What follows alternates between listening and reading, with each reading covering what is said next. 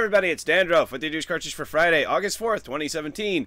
Welcome to the end of the week, and up until now, there has been plenty of news, but not so much today. But the show must go on, and we start with Path of Exile's next expansion called The Fall of Oriath, launching today along with the version 3.0 update. Coming next week is the expansion to Hearthstone called Knights of the Frozen Throne. It goes live on August 10th. Coming to For Honor later this month is Season 3, which will introduce two new combatants, the Highlander and the Gladiator. Let me know if you're still playing For Honor in the comment section down below. A new patch has come to PUBG, PlayerUnknown's Battlegrounds, that fixes the lag that appeared after yesterday's patch. Because I was done with yesterday's show so early, I decided to play a few games, and it was almost unplayable. There was what seemed like a half a second delay when opening any door, and this made shooting extremely difficult. I'm to play it more over the weekend to see if this is truly fixed. Getting a plethora of patches is The Long Dark, which received two yesterday and then one more today. Patch notes for these, as well as other games, can be found through the links in the description down below, along with links for sources for all of today's stories. Hollow Knight has gotten some DLC out today, which is the first of three and absolutely free. I promise that I wasn't trying to rhyme that time. Though it hasn't been announced just yet, it looks as though Xbox One gamers are going to get a Spotify app, meaning you'll have access to thousands of songs while you play games. In mod news, a new one has come to The Witcher 3 called The Devil's Pit, which adds a whole new explorable area, new NPCs, 20 new items, and of course, new quests. This is the mod for those of you who weren't happy with the 200 hours of play in the base game. Up next, we have some information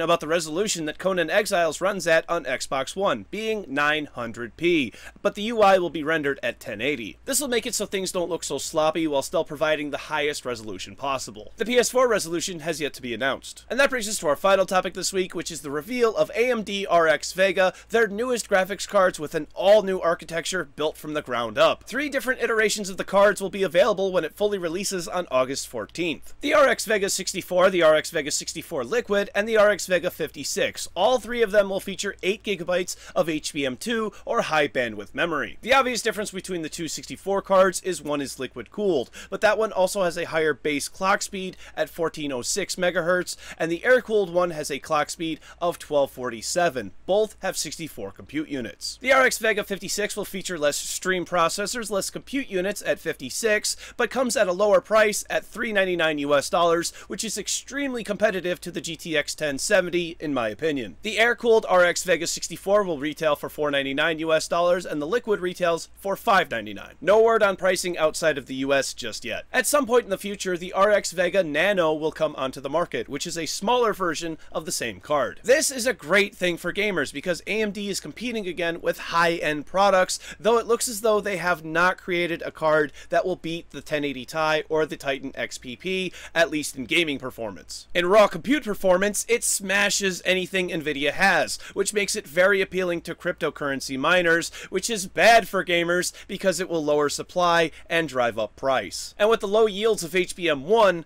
seeing these cards in gaming rigs might be few and far between. Are you thinking of upgrading to AMD RX Vega? Let me know in the comment section down below. Good luck everyone on getting a card, and this episode was dedicated to City Lion.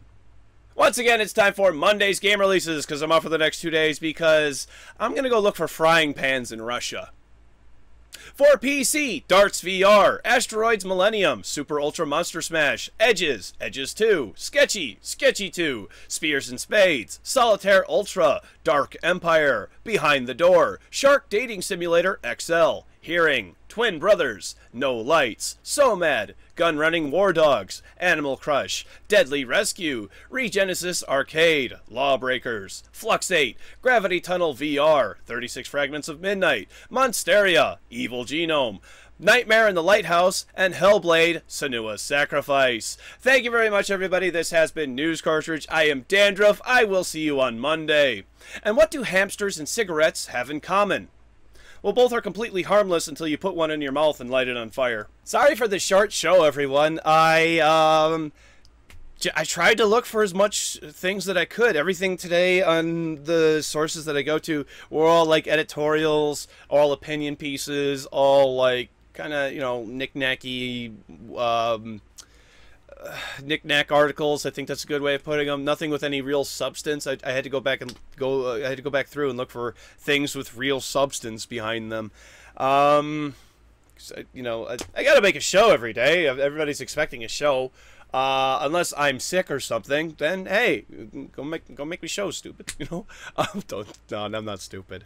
Um, yeah, uh, so I did end up playing some games of PUBG yesterday, and it was just, it was rough. It was really, really rough. I even saw Rags had uh, said that he can't recommend it to people because of how laggy it is, and it is an early access game. They I weren't sure they. I was pretty sure they weren't just gonna leave it like that. I haven't tested it since I played yesterday, so I'm gonna play it more tonight. See what what goes on. Play over the weekend, obviously, and I'll get back. I'll get you my uh, opinion on it on Monday. But uh, yeah, I'm still having fun with the game. Um, what else is out lately? Oh, Sonic Mania is coming out in, in two weeks. That one's going to be a lot of fun to pick up. Uh, I'm looking forward to that one a lot. I think it's only going to be like $15 too, so that should be really easily affordable. I should go check and see if it's on Keymailer. Hmm, yeah, should. Hmm, get it for free. Hmm, yes. Hmm, quite. Hmm. Uh, well, uh, let's see. What else is there today? Uh, show got done really quickly. I, I, I just busted through a lot of them. I was just like, I, got my little clicker clicker mouse. Everybody knows the clicker mouse. So I was just take, click, take, click, take, click. And the camera's about to shut down. So thank you everybody for being here. I hope you all had a wonderful week. Social media links are over here. Click over here to subscribe to my channel. Click over here to watch yesterday's episode where we talked about PUBG getting its big update, which caused the lag that I talked about earlier. Blah. Bye everybody. Go play some games. Bye. See you on Monday. Bye.